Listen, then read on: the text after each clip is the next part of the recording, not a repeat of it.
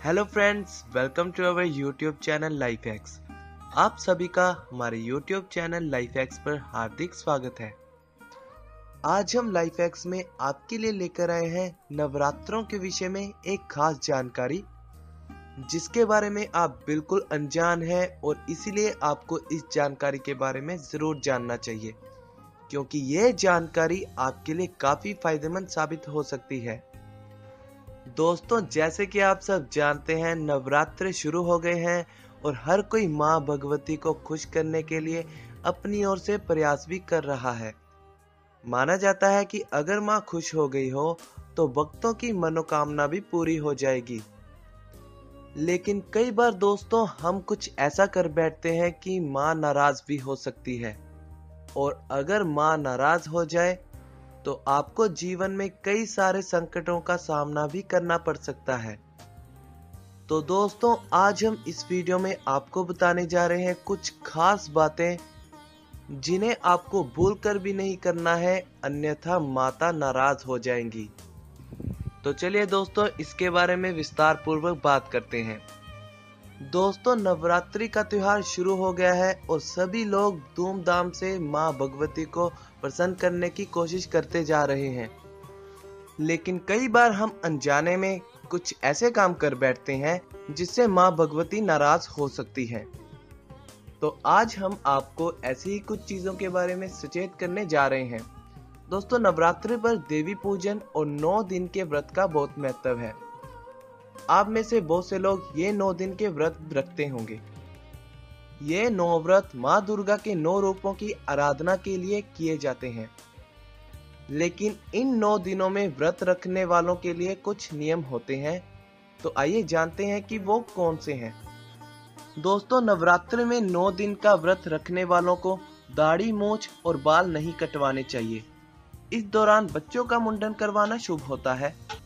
नौ दिनों तक नाखून नहीं काटने चाहिए ऐसा करना अशुभ माना जाता है अगर आप नवरात्र में कलश स्थापना कर रहे हैं, माता की चौकी का आयोजन कर रहे हैं या अखंड ज्योत जला रहे हैं तो इन दिनों घर खाली छोड़कर ना जाएँ। ऐसा करना अच्छा नहीं माना जाता इस दौरान खाने में प्याज, लहसुन और नॉन वेज बिल्कुल ना खाएँ।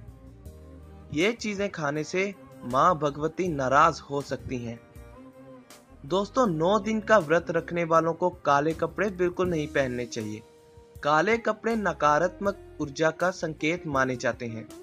व्रत रखने वाले लोगों को बेल्ट, चप्पल, जूते, बैग जैसी चमड़े की चीज़ों का इस्तेमाल बिल्कुल नहीं करना चाहिए। और ये चीज़ें पहनकर या लेकर मंदिर नहीं जाना चाहिए। व्रत रखने वालों को नौ दिन तक नींबू नहीं काटना चाहिए, क्योंकि ये अशुभ होता है। व्रत में नौ दिनों तक खाने में अनाज और नमक का सेवन नहीं करना चाहिए। खाने में कुट्टू का आटा समारी के चावल, सिंगाड़े का आटा, साबुदाना, सेंधा नमक, फल, आलू, मेवे, मूंगफली खा सकते हैं। दोस्तों, विष्णु पुराण के अनुसार नवरात्रि व्रत के समय दिन में सोने तंबाकू चबाने और शारीरिक संबंध बनाने से भी व्रत का फल नहीं मिलता है। तो इसीलिए व्रत करते समय ऐसा बिल्कुल ना करें। दोस्तों, ये है कुछ ऐसे काम जिन्हें आपको नवरात्रि के शुभ अवसर पर बिल्कुल भी नहीं करना है, क्योंकि ये अशुभ माने जाते हैं। तो दोस्तों, ये है हमारा आज का खास टॉपिक जिसमें हमने आपको बताया कुछ ऐसे काम जिन्हें अगर आप भूल कर भी नवरात्रि के इन नौ दिनों में करेंगे तो माँ भगवती नाराज़ हो सकती है। दोस्तों, अगर आप भी इस जानकारी से अभी तक अनजान हैं और नवरात्रि के इन शुभ अवसर पर माँ भगवती को प्रसन्न करने की कोशिश कर रहे हैं और माँ का आशीर्वाद प्राप्त करना चाहते हैं तो इस वीडियो में बताई गई ये जानकारी आपके लिए काफ़ी फ़ायदेमंद साबित हो सकती है। तो अंत में दोस्तों, हम आपको यही सलाह देंगे कि आप ये काम भूल कर भी ना करें और माँ भगवती के क्रोध के पात्र बनने से बचें और माँ का आशीर्वाद प्राप्त कर धन लाभ, सुख समृद्धि और जीवन को आनंदमय बनाएँ। उम्मीद है दोस्तों, आपको ये जानकारी पसंद आई होगी। आपको हमारी ये वीडियो कैसी लगी, इसके बारे में अपनी राय ज़रूर दें। अगर आपको हमारी ये वीडियो फ़ायदेमंद लगे तो इस वीडियो को अपने दोस्तों से ज़रूर शेयर करें। क्योंकि दोस्तों, आप लोगों का एक शेयर किसी की ज़िंदगी संवार सकता है।